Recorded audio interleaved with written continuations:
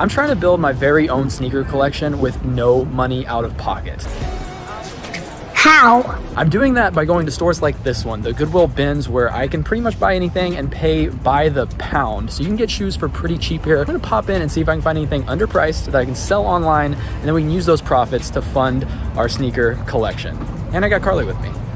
So as I mentioned, the Goodwill bins is pay by the pound, and here in my area it is a dollar and 89 cents per pound. And the way it works is basically they roll out these blue bins full of clothes, shoes, hard goods, and various other things throughout the day. As they're rolling them out, they have you line up by the entrance. Some locations do it a little different, but it's generally the same concept. So you start out by lining up by the door, and whenever the employees say go, you can rush the bins and look over them and try to see what you're going to reach for after they let you start digging. Then once they let you start digging, it's just a fight to get the best items that you can find before someone else snatches them from right in front of you. And when we showed up to the Goodwill bins today, we actually got there right on time. They were rolling out brand new shoe carts, and I ended up walking in the doors and getting right in the back of the line.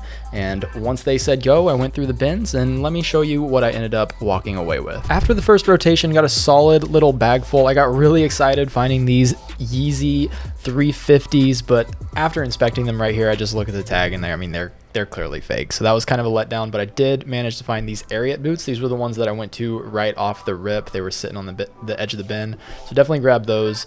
But before I go through the bag, I wanted to go through and see if there is anything that anyone threw back. A good time to pick up shoes is after the rotation's over, uh, just to see what other people are throwing back. I did find these Air Force One Independence Days, but they were way too worn on the bottom, so I had to leave those behind. I also found these Toon Squad Crocs, but unfortunately they were both left feet, so there really wasn't much in the throwbacks worth picking up. But here's another look at what I did end up walking away with. These vintage Adidas Dragons would have been a nice like 60 to 70 dollar flip, but they were peeling on the inside. So there's just another look at the fake Yeezys that I found. All right, so here's everything we grabbed. Uh, as you can see, we paid 18.12. Uh, this is definitely the best thing that we found. These Ariat boots in really good condition. Men's size 13, good size. This will definitely, we'll be in the profit after selling these.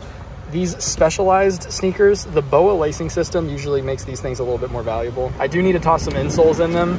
Uh, they don't have cleats, but this is still a really good model with the with this lacing system. They should sell 40 plus shipping. So either one of those is gonna put us in the profit. Again, we only paid $18 for everything. Grab these just to like a basic pair of Nikes. I'm probably gonna run these through the washing machine. Uh, I don't know if you can tell, but a little discolored. They're a men's size seven, but I'll probably sell these at women's size eight and a half. Again, these ones need insoles, but I got plenty of these at home. And then the last find is these Under Armour charged five. I think that's a five bandit. So this should be like a newish model. Yeah, these are from 2020, so they're not super old. Um, another one that's probably 40 plus shipping. Anything here is going to put us in the profit. So I like sourcing at this place just because of the buy cost, but I don't like being here and fighting with everybody. You guys know how I feel about it, but that's all the shoes we got picked up. And I couldn't leave behind this little Club Penguin plush because, you know, we're paying by the pound. This is pretty much free. So here's what we got. How'd you do today? Uh, I got 13 things for $12. Uh, three of them are mine. Two of them are kids' clothing. I don't know what I'm going to do with. I have a problem with buying kids shoes, and she has a problem with buying just kids anything. I limited myself. I only got two. Yeah. One was like new with tag, so you know. We still have plenty of money to spend. Um, do you want to go thrifting today? Sure, but I need some food or something. Yeah, I need some food or something too. I'll I'll reassess. If I change clothes, we're we're finishing this week's sourcing a different day but if i'm still in the same clothes same day now before we hop into the next stop if you caught last week's episode you know that we ended that episode with 40 cents in our sneaker collection fund. So you may be wondering where we're getting this money to spend. And well we had nine sales roll in since last episode. So i'm going to quickly go over how much those sold for and then how much money we're putting back into our fund after taking out our shipping costs and fees. So to kick us off the iridescent Converse that we bought at Plato's Closet in episode one ended up selling for $56.13. The Roger Federer on clouds that we also picked up from Plato's Closet, those sold for $68. The Nike Air Max Stefan Janoskis that we got at Goodwill ended up selling for $59.91. The Nike Air Zoom Pegasus Premium ended up selling on Poshmark for $39. The Air Max 97s that we picked up from Goodwill for $17 sold for $54.24. The other pair of On Clouds that we also got at that same Plato's Closet trip sold for $64.77. And then the other pair of Stefan Janoski's, the camo ones, sold for an even $40 on Poshmark. The new with tags Teos sneakers that we found at Goodwill for $13. Those sold for $72.09. And then our last sale of the week was the Mizuno Wave Creations. Those sold for $63.44. Now, adding all of this together, that had a gross sales price of $582.35. But on that, we did have to pay $234.97 to get those shipped to the buyers as well as to pay the fees for the platforms that we're selling on. So taking that out, our total number that's going to be added back into our sneaker fund was 300 $47.38. So adding in the 40 cents that we finished off last episode with, we're sitting at $347.78. But in last episode, we did pick up a pair of knee-high Converse for $25 at Goodwill, but unfortunately they didn't have laces and being knee-highs with 20 eyelets, they were kind of hard to find laces for. I know somebody commented on the last video telling me where to buy them, but I think the comment was removed or something. I couldn't find it, but I did end up finding a pair of laces on Amazon that I hope are going to fit. Those cost me $5.68. So taking the cost of those laces out of our fund, we are sitting at $342.10. And I know I'm dropping a ton of numbers on you, but we do also have to take out what we just spent at the Goodwill bins, and that was $18.12. So subtracting that from the fund, we are sitting with $323.98 to finish out the rest of the episode. So let's hop into this next Goodwill and see if we can find some more shoes to add to the sneaker fund. All right, we are at a Goodwill, and best part about it is same clothes. It's the same, Same day. day. Same day. Um, so yeah, let's uh, let's see if we can spend the rest of our budget. First pair that caught my eye were these New Balance Fresh Foams. They were the color of the week, which is blue. So they were only seven dollars and fifty cents. Fresh Foams always do well for me. And I spotted these Mizunos. These were like an Atlanta Braves collab, and they were only eleven dollars. The last Mizunos that we picked up did really well, so felt pretty good about grabbing these. And then up on the top shelf, I spotted some Eccos. I always do well with these, but not for $20, even in the condition they're in.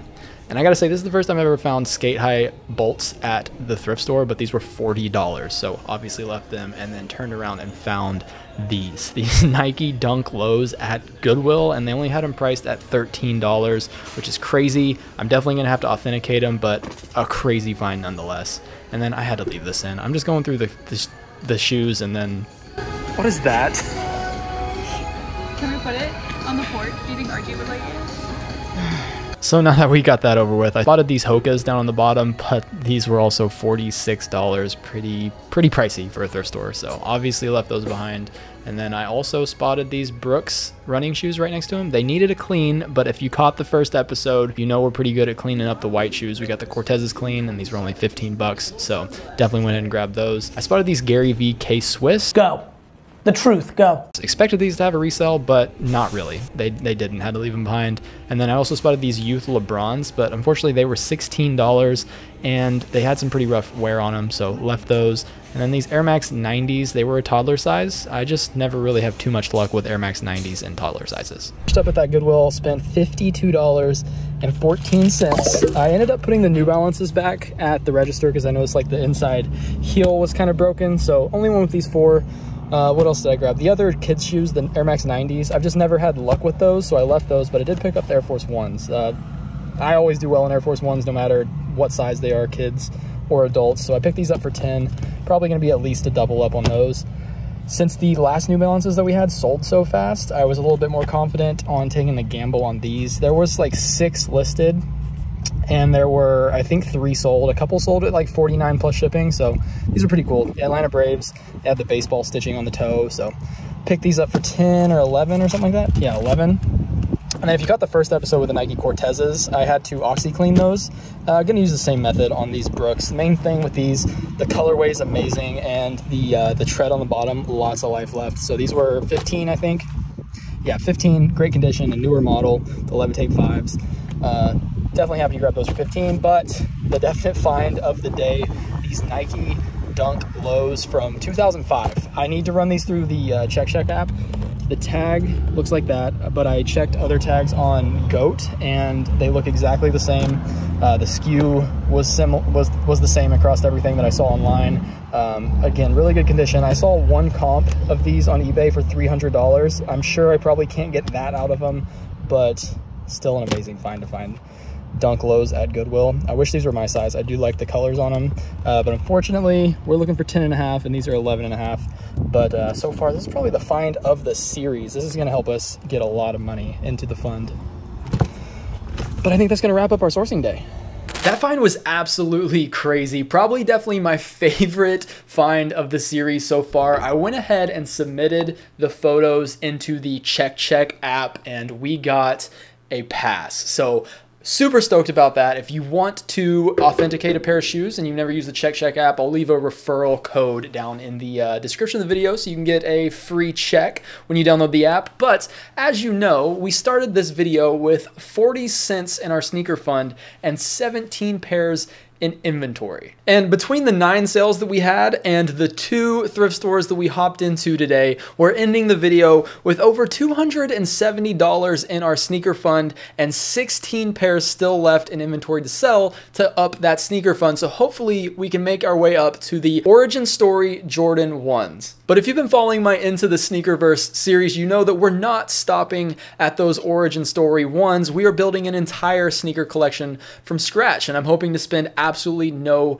money to do it. And I'm still putting together the list of shoes that I want in my collection. So if you got any recommendations, make sure to leave those down in the comments section below. And in the meantime, I'm gonna get some of these shoes listed and hopefully sell a few so we can get out and go sourcing again. And I will see you guys when that video comes out. So stick around until then. And if it already has, there should be a thumbnail to it right here. But if not, the thumbnail you're seeing should be a video I'm sure you'll enjoy. So go ahead and give that one a watch. And with that being said, I'll see you guys in the next episode.